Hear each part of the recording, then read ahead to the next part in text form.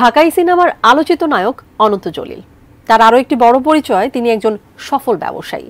গেল ত্রিশ মার্চ রাজধানীর নিউ মার্কেটে এ যে ভাই নামে একটি শোরুমের উদ্বোধন করেছেন তিনি। তবে শোরুম উদ্বোধনকে কেন্দ্র করে এদিন কিছু অনাকাঙ্ক্ষিত ঘটনার সৃষ্টি হয়। এ সময় ভক্তদের দিকে বন্দুক তাক করে তার বডিগার্ডরা কি ঘটেছিল সেখানে? জানাচ্ছেন সহকর্মী শাহাদাত রিফাত। অসম্ভবকে সম্ভব করাই অনন্তর কাজ। অসম্ভবকেই সম্ভব করাই অনন্ত জলিলের কাজ। এই ডায়লগ এখনও মানুষের মুখে মুখে শোনা যায়। এটি বিজ্ঞাপনের জন্য বানানো হলেও বাস্তবে বাংলা সিনেমার অনেক অসম্ভবকেই সম্ভব করে দেখিয়েছেন অনন্ত জলিল। বর্তমানে অনন্ত জলিল একজন অভিনেতা হিসেবে বেশি পরিচিত হলেও একাধারে তিনি একজন প্রযোজক ও প্রতিষ্ঠিত ব্যবসায়ী। তার ব্যবসা প্রতিষ্ঠানের নাম এজে আই গ্রুপ অফ ইন্ডাস্ট্রিজ প্রায় বারো হাজারেরও বেশি লোক কাজ করে তার প্রতিষ্ঠানে।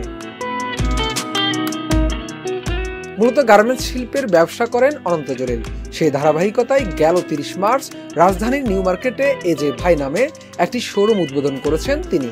তবে শোরুম উদ্বোধনকে কেন্দ্র করে ঘটেছে অনাকাঙ্ক্ষিত ঘটনা। এদিন সেখানে উপস্থিত ভক্তদের দিকে নাকি নায়কের বডিগার্ডরা বন্দুক তাক করেছেন।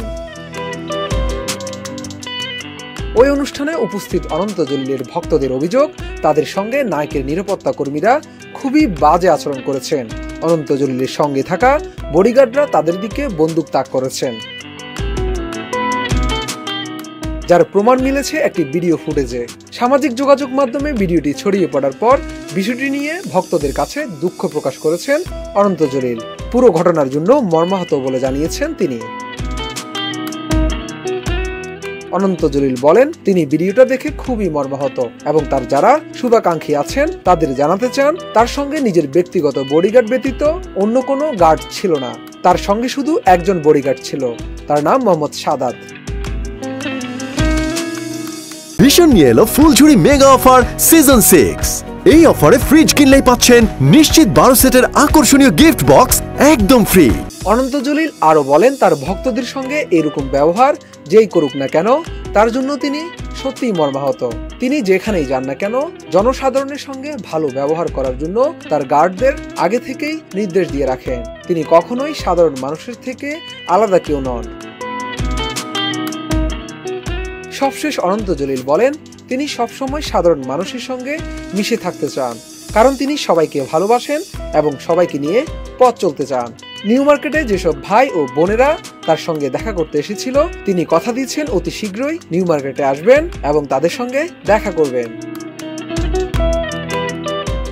বর্তমানে একাত্তরের মুক্তিযুদ্ধের গল্প থেকে নির্মিত অপারেশন জ্যাকপট সিনেমায় অভিনয় করছেন অনন্ত জলিল। সিনেমাটিতে তিনি সহ আরও আটজন নায়ককে অভিনয় করতে দেখা যাবে বিভিন্ন চরিত্রে। সিনেমাটি যৌথভাবে পরিচালনা করছেন দেলোয়ার জাহান জন্টু ও ভারতীয় নির্মাতা রাজীব কুমার বিশ্বাস।